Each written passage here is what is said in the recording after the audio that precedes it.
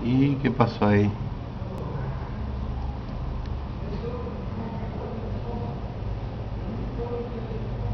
Bueno, está andando mal la máquina.